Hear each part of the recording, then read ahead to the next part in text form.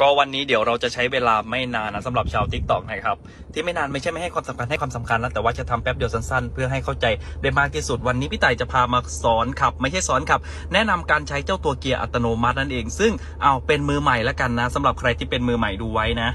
ก็ตัวนี้นะครับตอนนี้ตำแหน่งเกียร์เนี่ยจะอยู่ที่ตัว P นะตัว P ก็คือจอดรถ เวลาที่พี่ต่ายจะเข้าเกียร์นะครับเห็นเท้าไหมเท้าก็คือจะใช้แค่เท้าเดียวนะครับก็คือตรงกลางเหยียบเบรกนะครับแล้วก็ ปล่อยออกจากเบรกแล้วก็มาเหยียบคันเร่งมันจะอยู่แค่นี้นะครับ ส่วนเท้าซ้ายอันนี้ขออนุญาตนะใส่รองเท้าสีขาวเพื่อจะเห็นได้ชัดนะครับ ทุกคนก็ ห้อยไว้อย่างนี้นะ หลังจากที่พี่ต่ายเหยียบเบรกนะครับ ถ้าใครไม่มั่นใจเหยียบแน่นๆเลยก็ได้นะ แล้วก็เลื่อนตำแหน่งเกียร์ ถ้าเราดันลงมาหนึ่งแก๊กนะ ซึ่งตำแหน่งของอีสุคือมันจะเป็นแถวพืชลงมาอย่างนี้เลยนะครับ มันจะไม่มีสลับฟันปลาอะไรทั้งนั้น ตอนนี้พี่ต่ายดันมาที่ตัว R นะครับ กล้องมองหลังก็จะทำงาน แล้วก็บอกว่าตืดตืดตืดตืดที่มันตืดตืดเนี่ย เป็นเพราะว่ามันเป็นเจ้าตัวเกรด M นั่นเอง มันมีเซ็นเซอร์แจ้งเตือนมุมอัพที่สายตา เอ้า ตัว R ไปแล้ว ไม่ต้องการถอยหลังนะครับ เราต้องการเดินหน้า เอามาอีกหนึ่งตำแหน่งปุ๊บ ตืดตืดหายไปนะครับ ตัวนี้มันมาอยู่ที่ตำแหน่งตัวเกียร์ N นะครับ N ก็คือมันจะเป็นเกียร์ว่างแล้วนะครับ มันจะมีตำแหน่งไฟบอกตรงหน้าปัดด้วยนะ ตอนนี้คือเกียร์ว่างอ่าตอนนี้จะเกิดอะไรขึ้น ถ้าสมมติว่าพี่ต่ายปล่อยเบรกนะครับ ปล่อยเบรกโดยที่ไม่ขึ้นเบรกมือ รถมันจะไหลได้นะ ถ้าเกิดเราจอดบนทางลาดชัน เอ้า ทีนี้ถ้าจะเดินหน้าทำยังไง เอาจากตัว N มาตัว D คือลงมาตรงนี้ปึ๊บนะครับปึ๊บ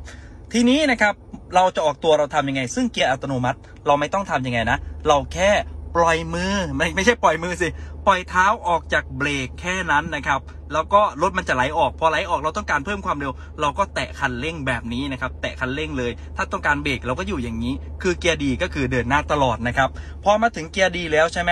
เอามันสุดแล้วนี่ แล้วบวกลบคืออะไร บวกลบนะครับก็คือมันเป็นตัวที่เราจะเข้าเกียร์ธรรมดานั่นเอง ถ้าเราตบเกียร์มาฝั่งขวาปั๊บนะครับ แสดงว่ามันจะไม่เข้าออโต้แล้วนะ มันจะเข้าธรรมดา ถ้าคุณต้องการเข้าเกียร์นะครับ คุณก็ต้องบวกหนึ่งครั้งก็คือเกียร์หนึ่งบวกสองครั้งก็คือเกียร์สองบวกสามครั้งก็คือเกียร์สามบวกสี่ครั้งก็คือเกียร์สี่ห้า 6นะครับจะเอาลงก็ทำเหมือนกันนั่นเอง ซึ่งเราสามารถดูได้จากไหนว่าเป็นตัวเกียร์ธรรมดา เห็นตัวตำแหน่งเกียร์ตัวนี้ไหมเนี่ยมันเป็น 1 แสดงว่าเป็นเกียร์ธรรมดาละเวลาที่เราต้องการเข้าเกียร์นะครับพี่ต่ายบวกนะ